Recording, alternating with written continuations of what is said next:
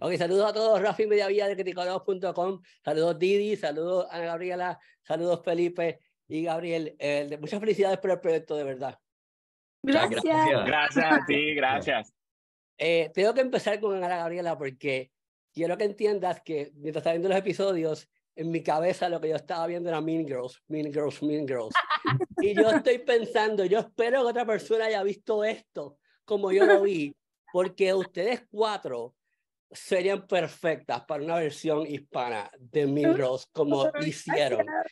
Y quiero saber si tú estabas como que Charlie, esa inner Rachel McAdams, eh, Regina, ¿cómo funcionó? ¿Cómo tú te, creaste a Ruby? cada Mean Girl que ha existido ha sido parte de la formación de Ruby Ruby. Hasta desde Sharpay Evans, de, de, la, de Mean Girls, de hasta de Dana Paola en Elite, o sea, cualquier Mean Girl, de ahí yo saqué inspiración y fue súper cool. O sea, yo de chiquita, yo, yo nunca era fan de las Girls. O sea, hay quien como que era, eres o Team Sharpay o Team de Gabriela, ¿sabes? De High School Musical.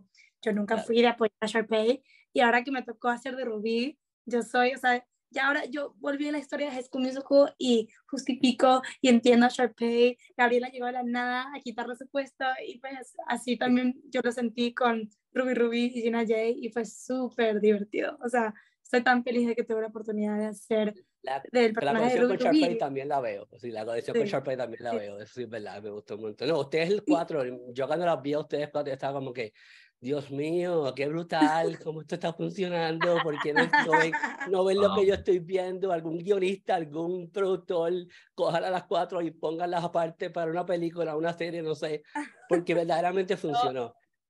Yo compraría que, boleto. Props to you for that, es la verdad. Gracias. Eh, y Ruby Ruby no hubiera sido Ruby sin las joyas, así que, claro. o sea, todo era, todo funcionaba, funcionaban como un cerebro todos conectados, es súper divertido. había mucha química, muy buena química, la verdad. Gabriel, voy contigo ahora. A Manu me fascinó y te voy a explicar algo. Yo me conecté con Manu. O sea, yo creo que muchos, muchos chicos, muchos hombres se van a conectar con Manu porque este chico, el Hopeless Romantic, enchulado, enchulado, enchulado, buscando, dándole la vuelta a, a, Gina. Obviamente, ella quiere, él quiere que Gina haga lo suyo, pero a la misma vez, mira, como yo la conquisto, ¿qué hago?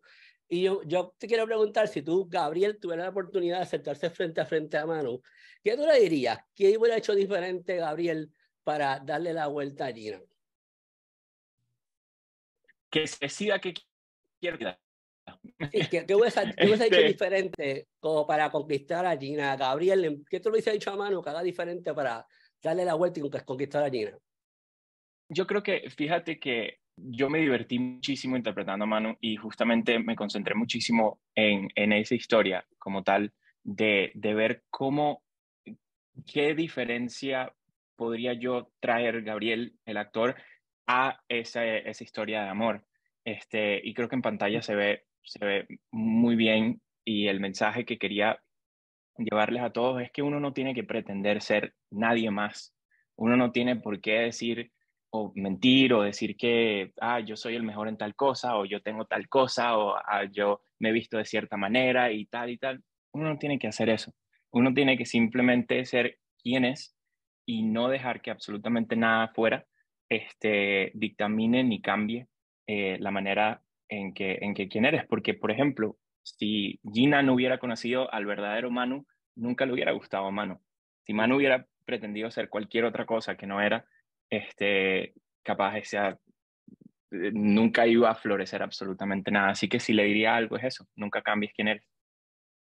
Yo, es que yo creo que Manu es bien auténtico y entonces pues yo creo que por eso muchas personas me van a conectar con él, como yo conecté con él y yo sé que muchos jóvenes y muchos chicos van a conectar con él. Felipe, voy contigo ahora. Dos roles totalmente diferentes, Ricky Martin, ahora a, a Jaden. Dios mío, qué, qué, qué, qué 180 en cuanto a los roles. Eh, ¿qué, tú, ¿Qué tú puedes decir que tú te llevaste de Ricky Martin para, para, para, aplicarlo en Jaden? Porque Jaden es bien egocentrista, tiene su, obviamente no voy a en detalle, pero tiene su, su, actitud, tiene su, tiene su, su problema de socialismo, el, el hijo del, del, del, director de la, de la escuela. Hay muchas cosas que le están pasando a Jaden por la cabeza. ¿Qué tú puedes decir que tú te llevaste de Ricky y lo pudiste aplicar en, en Jaden? Ok, gracias por la pregunta. ¿Sabes lo que fue desde un principio? Que yo creo que interpretando a Ricky, me tuve que enfocar mucho en la esencia carismática de él. Que, que todo, o sea, yo hablé con mucha gente que lo conocía de joven y todos decían lo mismo, que él se proyectaba dentro de los menudos como el, como el que era bien carismático y el que siempre buscaba conocer a ese, a ese, you know, ese productor y, o sea, alguien que de verdad se esforzaba por llegar a lo que él quería. Y yo creo que Jaden en ese sentido es igual. Ambos son bien carismáticos, les gusta la atención, les gusta estar frente a la cámara, en, en la tarima, y se distinguen por, por su sonrisa, por siempre llevarse, eh, por su seguridad también.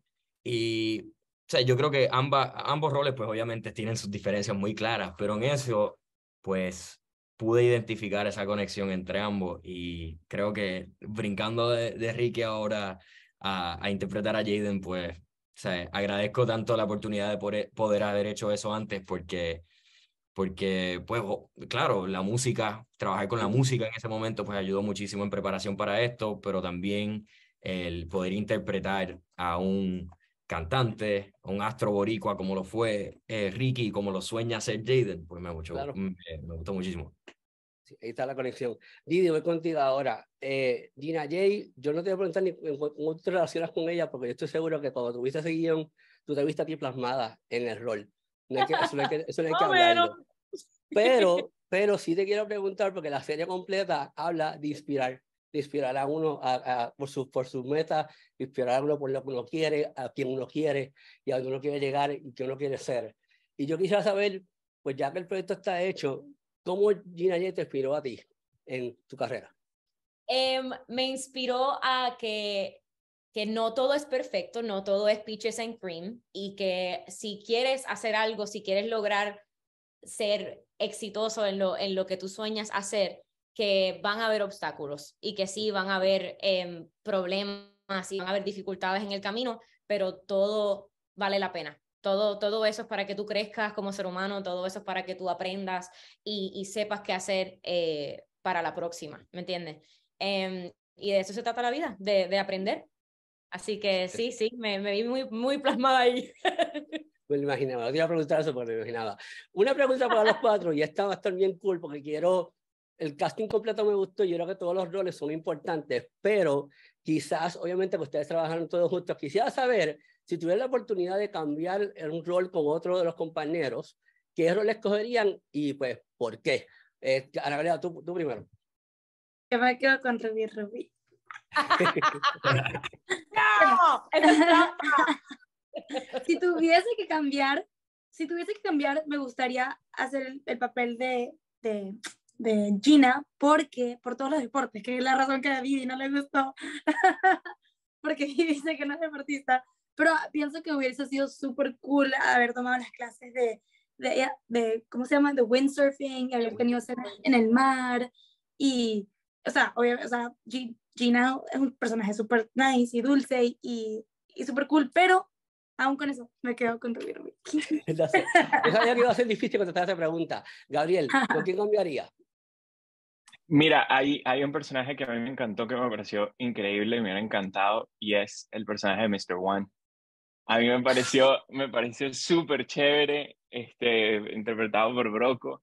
Este, de verdad que yo lo, yo lo vi y yo, dije, yo dije, wow, qué divertido tiene que ser ser uno de los mayores exponentes en el, en el mundo de Gina J de, del reggaetón. Este, así que así me encantaría, Mr. One. Felipe, ¿con quién tú cambiaría? ¿Sabes qué? Y, no, y, y la que pudo interpretar a este personaje se la comió, como decimos en Puerto Rico. Valentina y C. Rodríguez. Te digo por qué. Porque si hubiese dado el look, mano, ese personaje está brutal. Ese personaje está brutal. Y pude, pude compartir escena con ella mucho, pues obviamente interpretando a su hijo. Pero esa, esa Valentina que llega a los sitios y, todo y vira, todas las, las cabezas giran hacia ella. Es de, de mis personajes favoritos. Este, así que esa, esa misma. Didi, pregunta difícil. ¿Quién tú cambiaría? Si no fuera Nina, ¿quién fuera? ¿Quién fuera? Yo haría de, de uno de los dos hermanos, de Adrián o Fabián. Yo. Adrián o Fabián.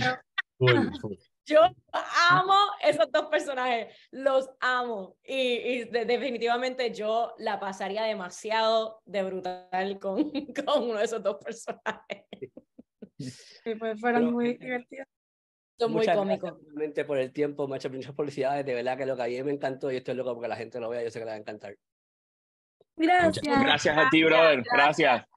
Bye. Muchas gracias.